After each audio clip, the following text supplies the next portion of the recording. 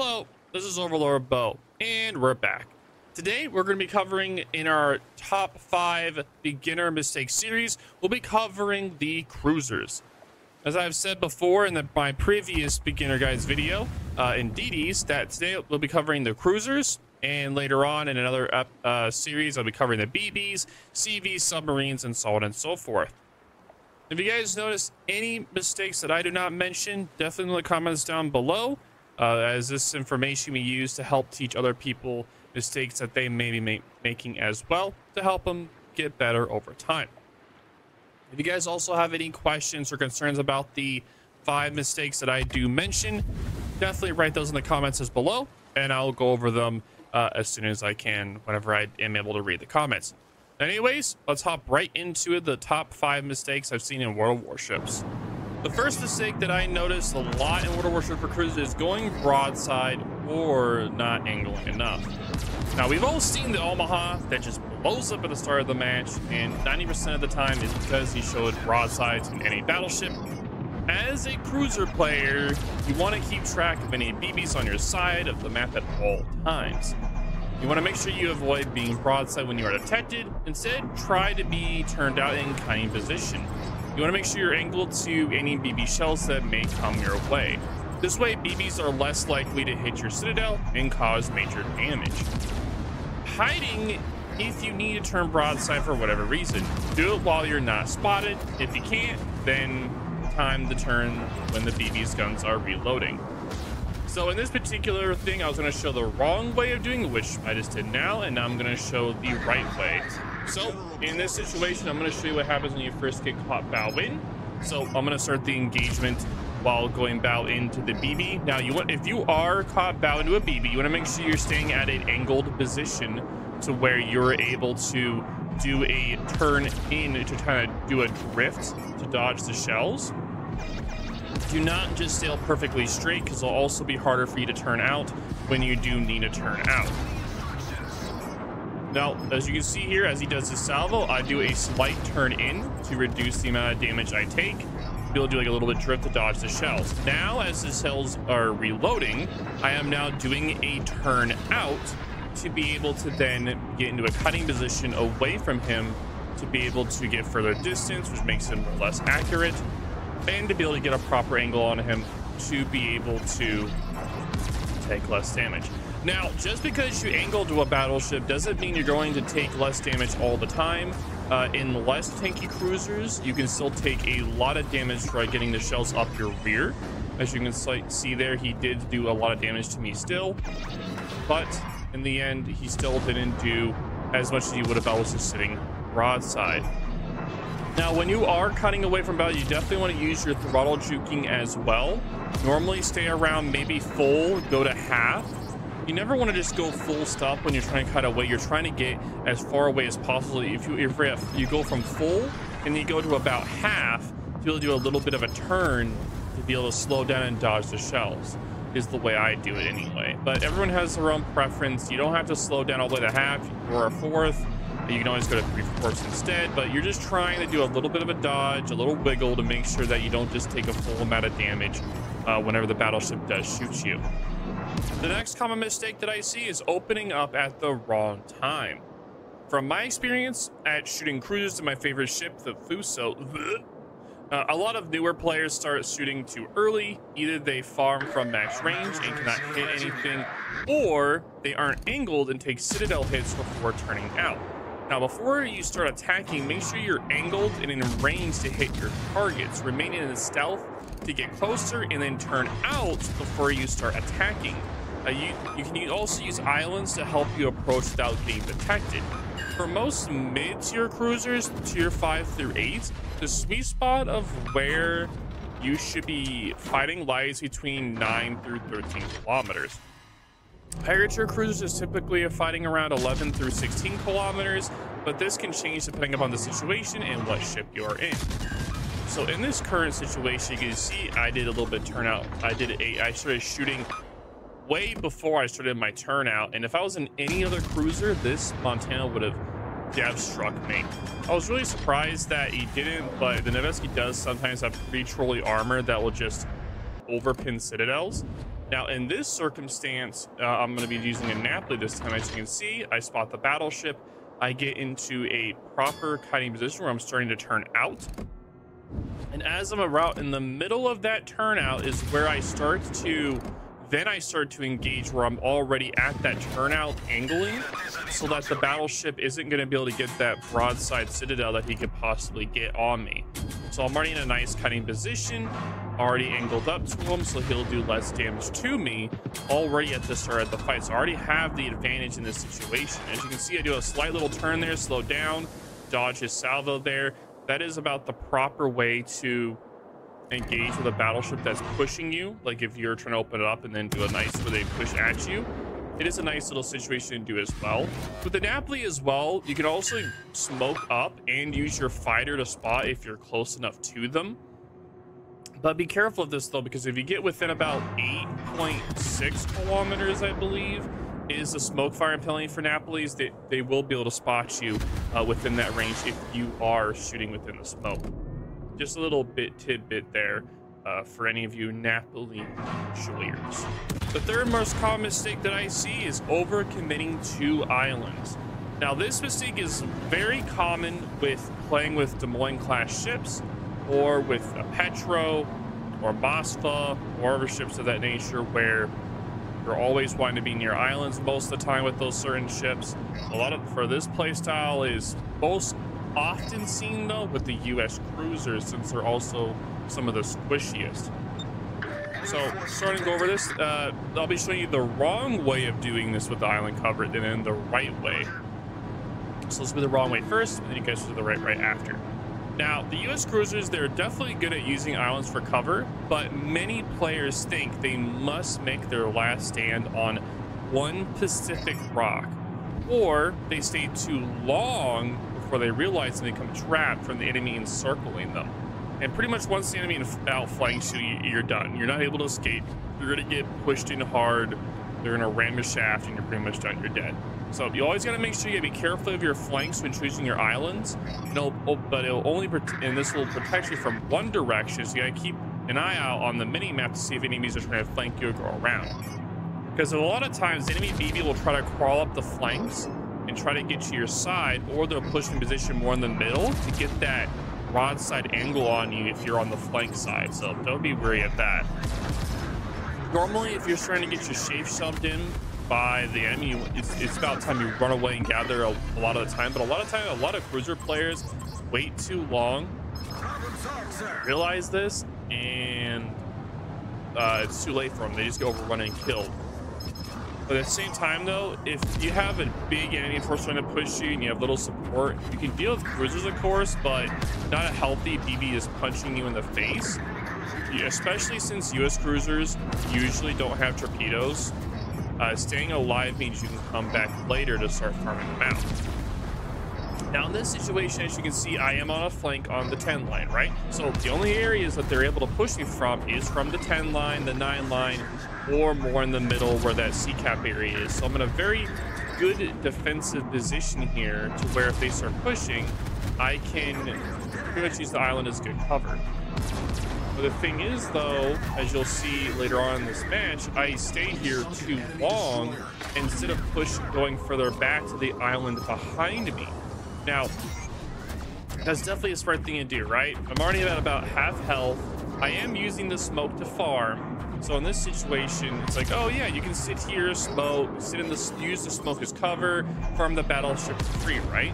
Well, it's a good idea and all, but at the same time, you have to consider that your teammates not may not be able to last long enough to be able to support you on the flank which means that you're gonna over you're gonna get overrun soon as your team just leaves you. You have to be wary of that. I did knock out their DD early, which made where my team had a lot easier of a time over here. But as you can see on that mini map, you start to notice their team is starting to move over here. And if they're starting to move over here, that means you're gonna do a big push over here. Just like, okay, it's about time we turn around. You get out of here. Nope, I, I'm just trying to showcase the wrong way and I stay here. Instead of rotating back to the to island that's behind me on the 10 line, I still stay in this position. I keep on farming their battleship over and over again. And then I start getting, uh, I do start having to deal with this Salem here as well. Salems do out DPM Des Moines in the end. They do out trade them due to the fact that Salems have a super heal while Des Moines do not, which means that in this current position, that Salem has the advantage. He has a way, way bigger advantage on me than I am. And at this situation, I should have already been starting to leave, but as you can see there, I'm being shot at from middle because I wasn't paying attention and they started pushing in from the middle of that cap there from C, which I said earlier is what's most likely going to happen if you stay in an island position too long and you're on the push side, they're gonna start outflanking you. They're gonna start getting on your side. They want to kill you. They want to get you out of there. They want to be able to push up, do as much damage as they can. So when they have the advantage, teams are always gonna, well, most of the time anyway, they're going to utilize having the advantage on their side and they're going to push really heavy with it. Now, I should have already left this situation about two or three minutes now. Now, this match isn't a bad match. Like, I still did a lot of damage. I did a lot of support for my team. But at the same time, I still did, like, an unnecessary death. I didn't need to die here.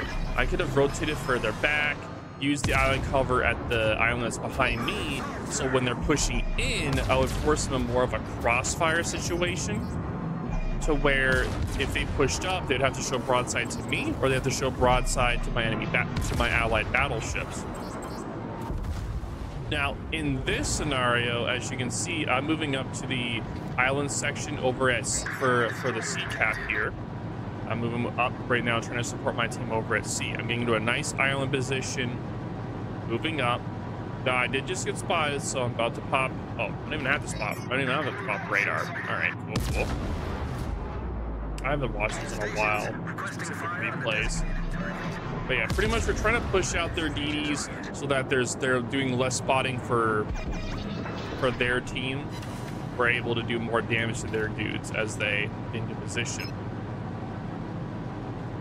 Now already this island position for this particular map is always a very dangerous position to be in because if they get to the 10 line area right away, they're going to be able to outflank you right away. They start pushing down, you're trapped.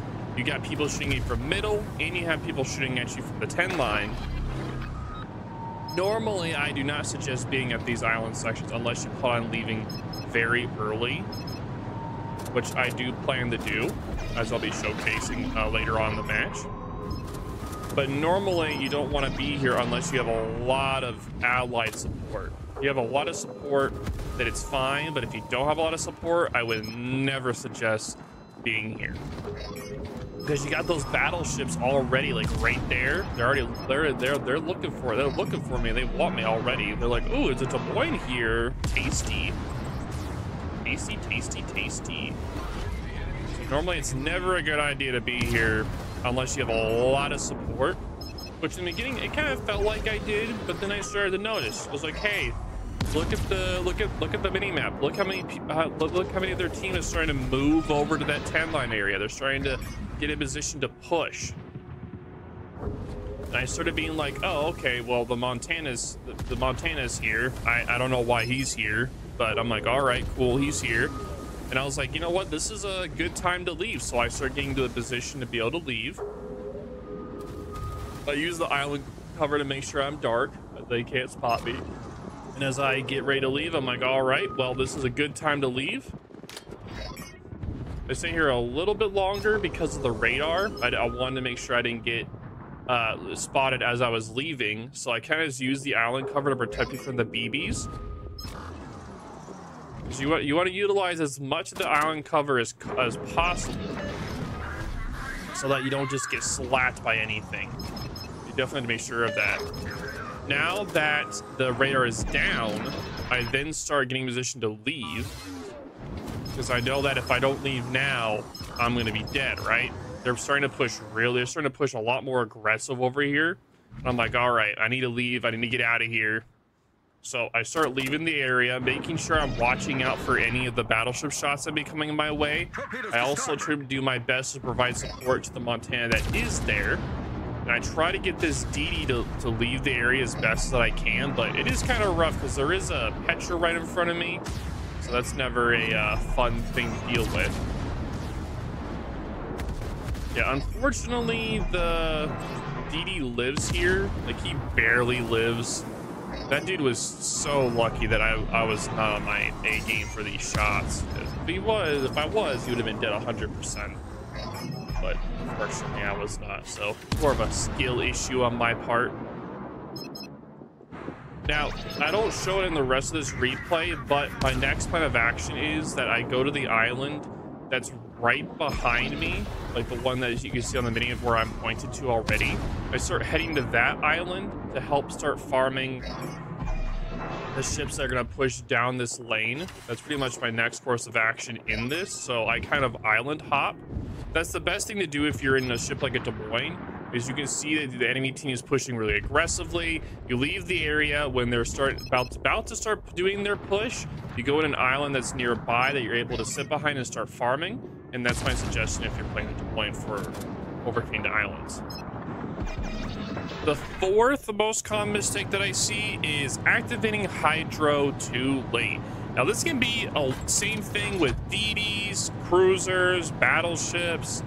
It doesn't really matter. Anything with Hydro, this this mistake kind of works for. So take this as an all-around mistake because some DDs and battleships also have have Hydro, but the majority of the Hydro capable ships in this game are still cruisers.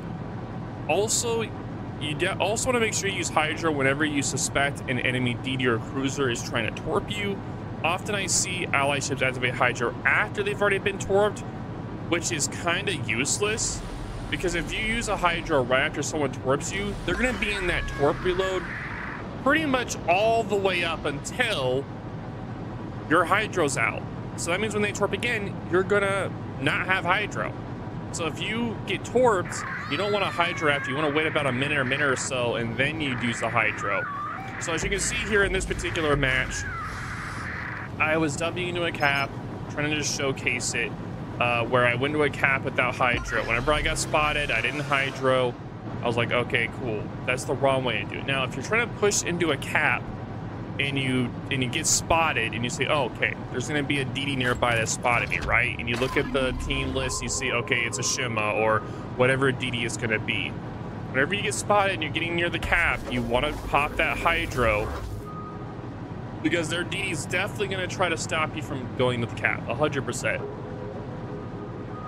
Now, I don't have any directional way of knowing where this DD is at all. He could be left of me, right of me, right in front of me. I have no idea. So at this point, I'm just having my head on a swivel, waiting for the torpedoes to show up. Anything at all, just waiting, just trying to figure out where he's going to be at because he did spot me a little bit before the cap, so he has to be around the area. And there's the torpedoes. Now, I do eat a torpedo like a dunce. That's more just a skill issue on my part, but it helps just show you can mitigate the damage from torpedoes uh, and also just do better to dodge torpedoes. Don't be like me eat torpedoes for breakfast. But you guys will be fine. But yeah, make sure you, make sure to at least pop the hydro. Don't just wait until you get torque to pop it.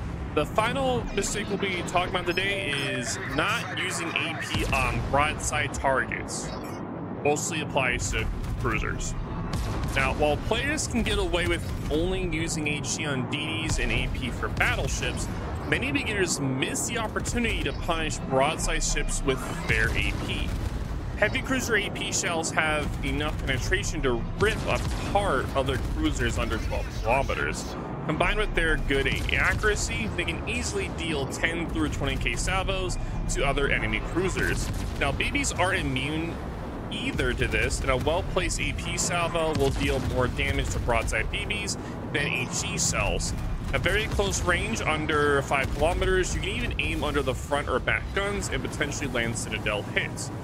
Now, light cruisers are a bit weird and mostly dependent upon which BB you're shooting at, but some BBs, like the high-tier Russian BBs, are too heavily armored and are better off just spamming HE even when broadside. Others, like the Japanese BBs, they can shoot the upper belt and farm more damage against cruisers. CLs can expect to start landing Citadel hits at 6 to 8 kilometers, the closer the better.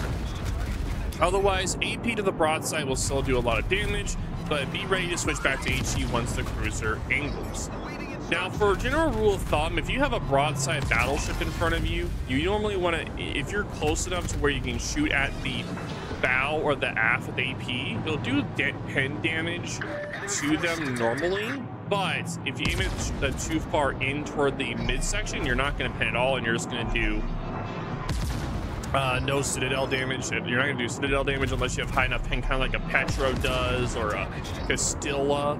They do as well but I'm trying to showcase here in the circuit. So in the first replay you watched, it was HE only Des Moines, and the second one was the AP Des Moines against the Minnow. Now this is an actual fight between a Des Moines and a Minnow, whereas you can see him switching between HE and AP uh, when he's going broadside or when he's going bow in. And since Des Moines does have improved pen angles for the AP, it's very important you know when to be able to do it.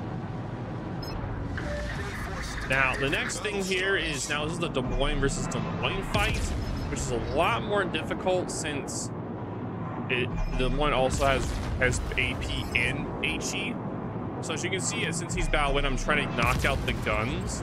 Normal, like normally in a Des Moines fight, you're trying to knock out the guns first, which can be kind of difficult at the distance. You're just trying to get that fire damage going first. So you get that HE, try to get a fire going. unlucky for me, though, I didn't really get that many fires. So he had the advantage in that regard. He was also able to knock out my gun early, which made it where I had DCP'd uh, that, uh, also to put out the five. So he had the advantage in that regard. Now, I did start knocking out his guns around this distance, which gave me the advantage. He also switched to AP as well. But normally in these kind of situations where you're doing a 1v1 with another Moines or like a Salem, a lot of the time it's going to result in one of two ways. One, either you're going to ram each other, or two, you do some kind of broad drive-by broadside, or you'll just be reversing other one's trying to ram you. Now here, I did try to dodge the ram, but uh, he kind of poked me with his rear end there, so I'll rip in that regard. But anyway, uh, if you guys have any questions or concerns or have any tips or anything you want to put down in the comments, you can. But this is Overlord Bou. Thank you all for watching, and hopefully you guys enjoyed these kind of little mini series on the top five mistakes, beginner mistakes I see in World of Warships. But thank you guys all again for being here, and I will talk to y'all later.